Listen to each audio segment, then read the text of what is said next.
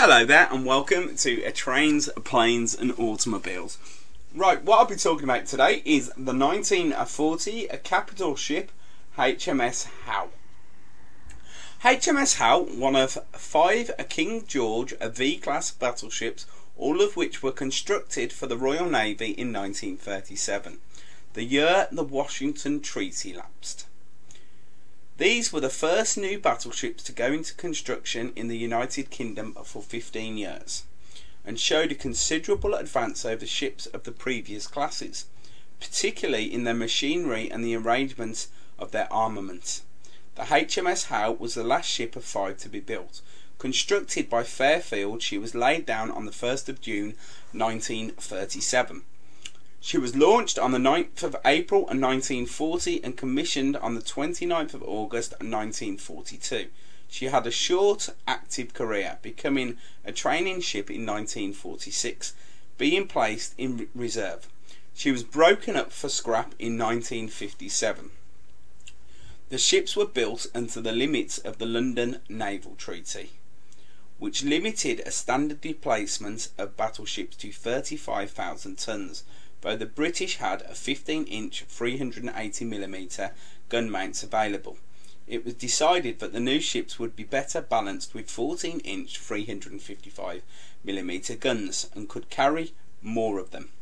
They originally to have had 12 in three quadruple turrets, but after trials the super firing 8 turret was reduced to a twin.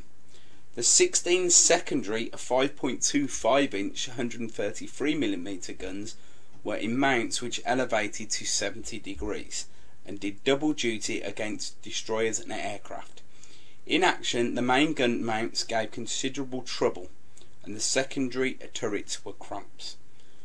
HMS Howe, she was a battleship. She had a four shaft Parsons geared turbines producing a whopping 110,000 shp. She had a length of 227 metres or 745 feet. She had a beam of 31.4 metres or 103 feet. She had a weight of 36,725 tonnes as standard or 42,075 tonnes as a deep load. She had 1,422 crew so basically, she had a whole school on board, which pretty a big ship. At a range of 20 knots, she had a range of uh, 6,300 miles. In brief, the career of the Howe. HMS Howe was the last but one battleship ever built by the Royal Navy, and for the time she was completed, it had become clear that the days of the capital ship were largely over, no matter what some big ship enthusiasts might have said. Her career was very short as a result. Under three and a half years on active service, she joined the Home Fleet on her commissioning, and on the following May was detached for duty in the Mediterranean. She was the British flagship during Operation Husky, the invasion of Sicily, and later bombarded shore targets in Italy in support of the invasion there. She joined the Eastern Fleet based at Trincomalee and was the first flagship of the Pacific Fleet when she formed. She took part in shore bombardments in support of the US troops in the first part of 1945 and then refitted in South Africa prior to returning to the UK to be paid off in January 1946.